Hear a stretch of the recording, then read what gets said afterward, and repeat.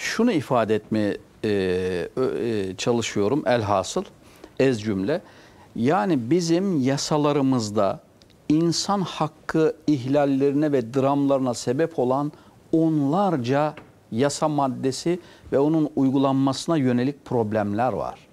Ben arzu ederdim ki bu 20 yılda özellikle daha önce neşter atılmamış güçlü bir irade varken insanımızın mağduriyetine sebep olan bu yasaların e, neler olduğu, sonuçlarının neler olduğu ile ilgili geniş kapsamlı bir çalışma yapılsın ve o çalışmada toplumsal mağduriyetlere, e, insan hak ihlallerine ve e, özellikle toplumsal veya belli e, ins- e, grupların, insanların e, mağduriyetine sebep olan bu düğümler çözülebilsin.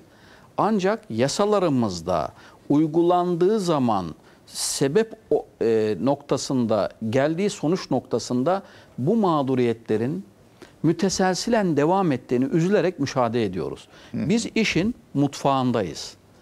Yani e, çok net bir şekilde ifade ediyorum.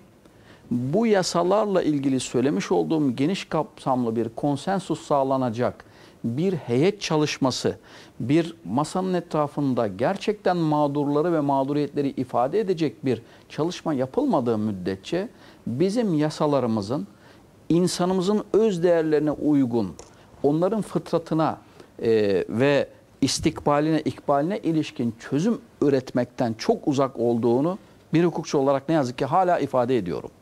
Dolayısıyla yapılması gereken mutlaka geniş katılımlı bir e, adalet şurasıyla insanımızın